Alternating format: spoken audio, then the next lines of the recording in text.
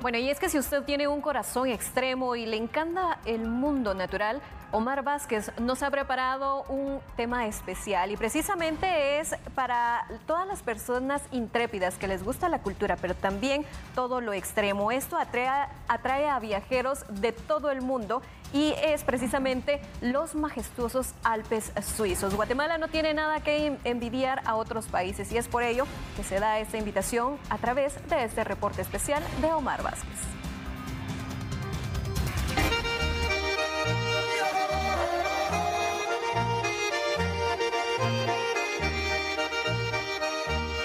Luego de visitar la ciudad de Lucerna en el corazón de Suiza, caminamos en vehículo aproximadamente una hora para llegar a la región de Interlaken, una comunidad del cantón de Berna, muy famosa por su impresionante paisaje montañoso, por encontrarse en medio de dos lagos y por ser el punto de partida para visitar los famosos Alpes suizos.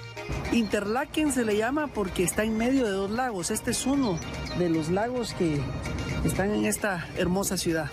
Muy cerca de la histórica ciudad de Interlaken encontramos la comuna de Lauterbrunnen, punto de partida a los destinos de excursiones más populares de la región del Jungfrau, donde un ferrocarril de cremallera enlaza con la estación de Kleischaden para llegar al Jungfrauhof, que como bien dicen es la guinda de todo viaje a Suiza, ya que desde ahí se logran las mejores vistas del top de Europa.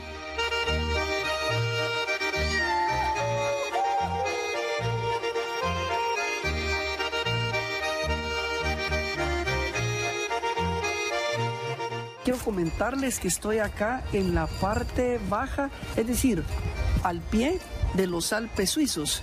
Quiero mostrarles algo. Bueno, aparte de que hay animalitos acá, aquí sí ya estamos a temperaturas bajo cero, estamos a menos un grado. Todavía no cargo mis guantes, pues recién me acabo de bajar del vehículo. Porque hasta aquí es el lugar donde podemos llegar. Allá no se puede caminar. Eh, con el vehículo, pues acá podemos subir a esas montañas que ven al fondo. Desde este lugar los visitantes pueden recorrer la mayor parte de las estaciones conocidas de los deportes de invierno, que incluso han alojado varias etapas de la Copa del Mundo de esquí alpino. Creo que ya voy a necesitar ponerme mis guantes. A mí me gusta el frío, pero acá traigo ropa térmica, o sea, aparte del suéter, del sudadero, cargo ropa térmica eh, y esta chumpa o esta chamarra, como le quieran llamar, es térmica.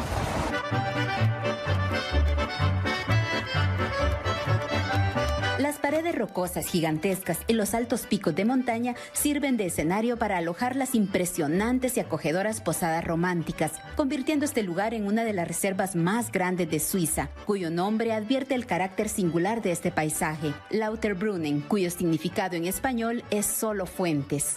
Para llegar a esas montañas y más allá que lo que le llaman el top de Europa, o sea, la parte más alta donde se puede llegar en un tren, es un tren normal que lo tomamos de acá, son aproximadamente 3.500 metros sobre el nivel del mar donde llega el tren, pero vamos a subir un poco más, a unos 4.500 metros, donde se pueden ver los países vecinos de Suiza, como es Alemania, Italia, Francia, algunas partes que se pueden ver.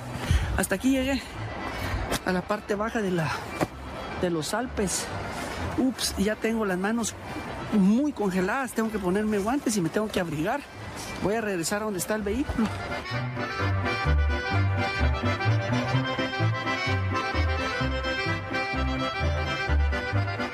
Las extensas regiones de esquí, así como el top de Europa, se pueden alcanzar rápidamente con los ferrocarriles de montaña y los modernos teleféricos, donde los viajeros se encuentran en un maravilloso mundo alpino hecho de hielo, nieve y roca.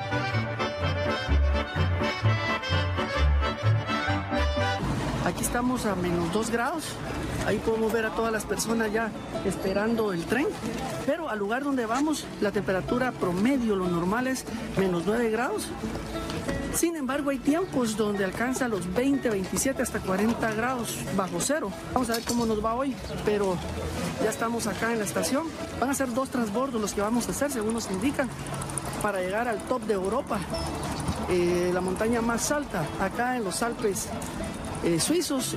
Ahí están avisando que ya viene el tren. Así de que me voy a preparar porque aquí el tren un par de minutos y el que no se subió se quedó.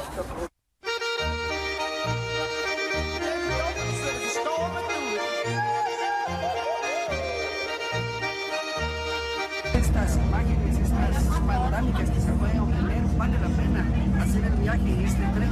Este es un tren panorámico.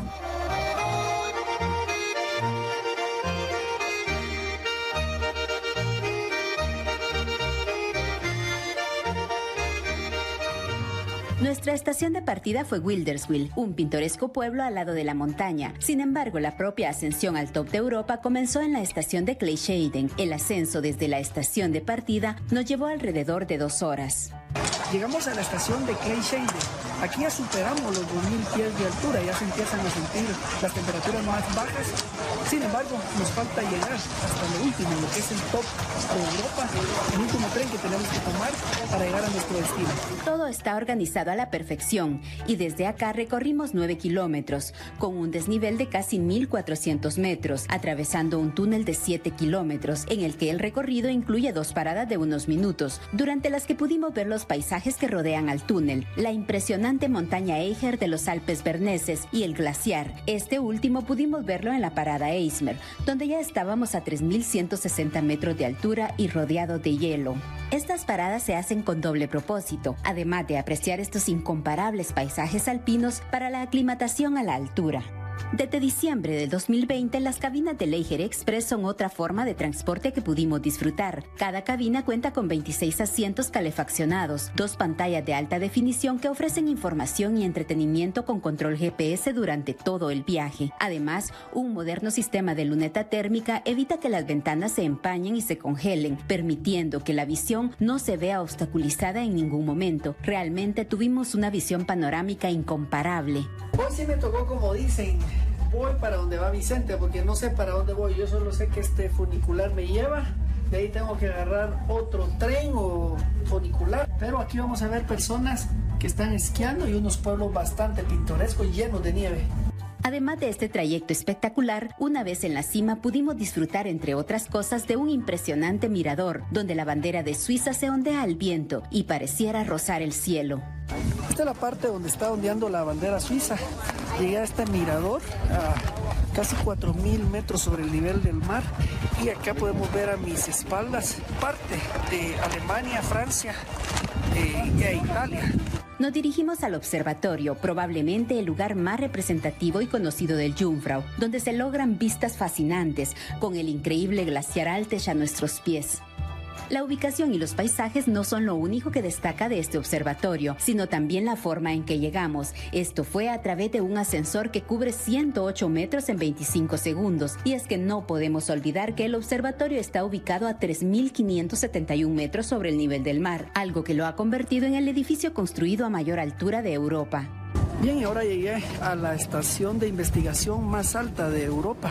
Aquí se ha estudiado la medicina alpina, la radiación, eh, los temas meteorológicos y por supuesto hay otras montañas que se puede llegar también para superar los 4.500. La verdad las temperaturas son bastante extremas. Ubicado en el corazón del glaciar, nos encontramos con esta maravilla, un auténtico palacio de hielo. Adentrarte en el palacio y rodearte de pasillos de hielo, en los que no faltan las barras para sujetarte y no caerte. Eso sí, no olvides tu ropa debe ser especial para abrigarte muy bien, ya que la temperatura se mantiene bajo cero para conservar las esculturas y estructuras de hielo. Vamos a ingresar eh, con temperatura de menos 20, menos 30 grados.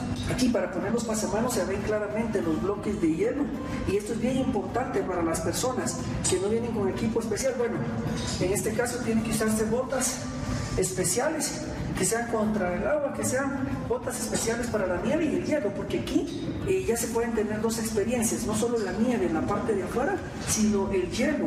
A ver cómo me va, acompáñenme.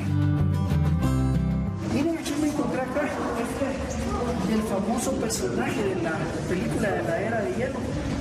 Acá lo vemos cómo está prácticamente petrificado.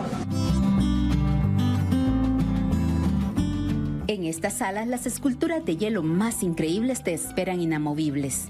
Y esto no se los puedo dejar de mostrar. Top de Europa. Esta maqueta que da a conocer es prácticamente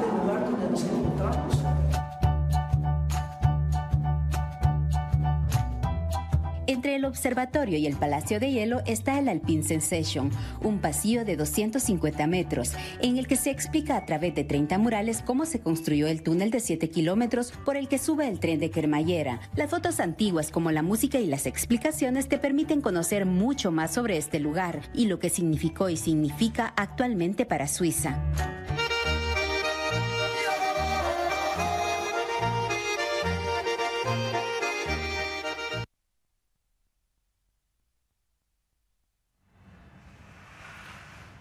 Los Alpes suizos, un lugar que Omar Vázquez desde la Perla de Oriente llegó a conocer y por supuesto nos trajo toda la información acá. Pues si usted en algún momento tiene la oportunidad de llegar, prepárese de la forma que ya Omar nos ha señalado para que la experiencia sea majestuosa, así como él la vivió.